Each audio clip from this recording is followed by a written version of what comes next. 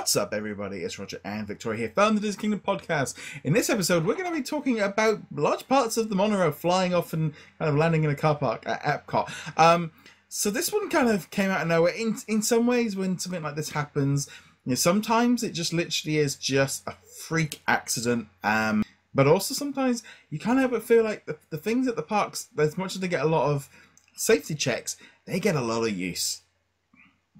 Oh, absolutely. This story, I was very surprised when I heard about it. Yeah, I mean it's a massive chunk. There's a guy kind of just standing here um, with this chunk. I mean it is like this big, big chunk of metal. Um, they then apparently they then had to suspend uh, the monorail. Um, they were apparently um, even evacuating people out of the, the. I suppose that's the thing of once one thing happens, they have to just clear it out and make sure everything's okay. Yeah, I was actually at Magic Kingdom when this whole incident happened that day. I so at first we thought it was the monorail that was taking every the resort monorail actually, but then we found out it was the Epcot monorail and I was hearing different stories. I heard there was evacuations, I heard there wasn't evacuations, I heard something was on fire. So you know how people spend stories. Yeah. But yeah. Yeah, because basically it probably went from. It could have been from. I mean, other than the fact that the picture of the guy holding the thing, you know, it could have been like this big.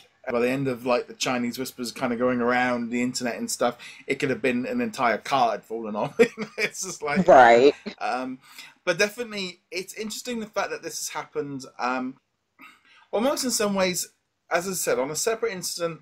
This could just be an, a pure accident. You know, you could have a, a something that big could have fallen off us this today, and no one would have probably really found out about. But the monorail is iconic, but also Epcot is aging, and it is getting to that point of so much stuff. That one there might have been, you know, not necessarily been around since day one, but our whole infrastructure is just, you know, it's getting old, and you know, things sometimes do just go wrong. That's true. I mean, I there's just been a lot of issues with the monorails over the past few years. I, I mean, I've been told that they've been, you know, getting their normal maintenance, but it's like, I mean, it's only been a few years since that unfortunate incident where the driver of the monorail passed away. I think that was only like maybe two years.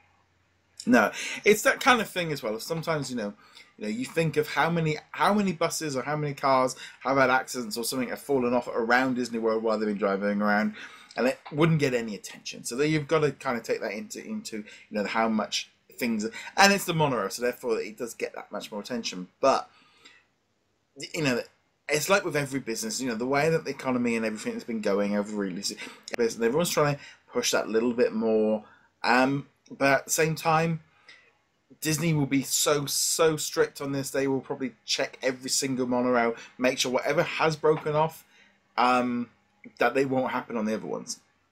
Oh yeah, they um. I actually saw an article where they had Disney said that they are looking into the situation with the gentleman that found the piece that you know claimed mm. fell like out of the sky from the parking lot, and they're also I, I'm not sure if it's still happening, but rails are down mm. until they figure out what's going on with them. So well, this is, yeah, they're taking it very seriously. Yeah, well, I mean, the thing is about Disney first off, not only after they they have to look at that bit, but they then actually got to go check and see if it actually happened because it'd be so easy for someone falling off in the hope to get you know and it hit me and you know I want some money and it actually never even came off. So they have to go and check to make sure that it hasn't happened. But then obviously, if it has, then safety just shutting them all down. I mean, that's that is especially at the height of the summer, getting people not using the monorail as a major way of getting in and out. Of, you know, that is a major inconvenience. It is like in like especially with the recent news that all the Disney parks managed Shanghai has gone down to the ten. Happen to anything, and then and any single track parts, things break down over it, and therefore it is just how it can work.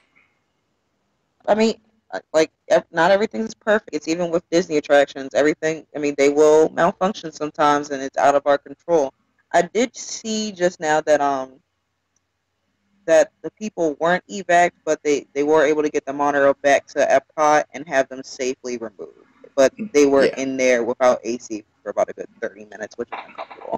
Yeah, especially in that Florida heat. Having had, we've got a little mini heat wave going here now, and uh, there's been a couple of times today when I've gone, yeah, it feels like, you know, it feels like we could be working over there in Florida, but it definitely, um, like for me, I, you know, I like I said before, I look at this and it, it isolated issue.